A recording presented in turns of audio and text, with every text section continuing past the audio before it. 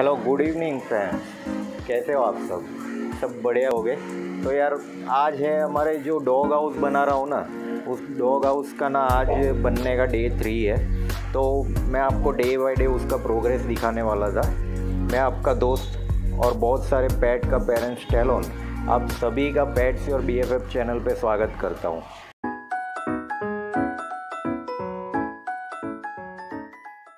तो वो प्रोसेस में ना, अभी आज तीसरे दिन का प्रोसेस कंप्लीट होने आया है। तो वो प्रोसेस कितना पहुँचा है, वो मैं अभी आपको दिखाने वाला हूँ।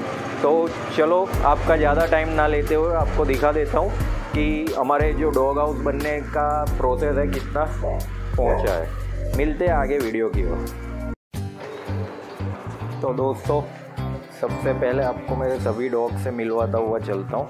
ये हमारा कांचा है। देखो। कैसे मस्त शांति से बैठा है। ये है स्कूबी जो जर्मन सेफर्ड डॉग है। ये भी मस्त डॉग है, देखो।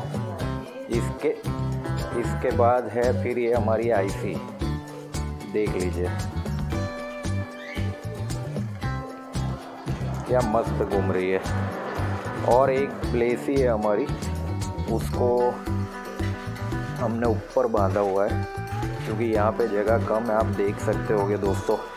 ये ये जगह थी अपनी स्कूबी के लिए, जहाँ का पूरा प्लास्टर निकल दिया है। तो मैंने आगे की वीडियो में आपको दिखाया था। यहाँ पे ना, और एक बॉक्स बना के मेरे कांचा को रखने वाला हूँ मैं। तो ये वो जगह हो गई। फिर ये जो खाली स्पेस आपको दिख रही है ना, यहाँ से यहाँ से लेके यहाँ तक। यहाँ पे दो और बॉक्स आएँगे, जिसमें हम रखेंगे आईसी और हमारी ब्लेसी को। और आज के प्रोजेक्ट में दोस्तों अंकल ने किया है, ये वाला यहाँ का कोट जो है, उसका भी सारा प्लास्टर निकाल दिया ये देखो तो ये पूरा प्लास्टर निकल गया ना, इसके ऊपर अभी टाइल्स लगने वाला है। तो बस इतना प्रोसेस आज का हुआ है।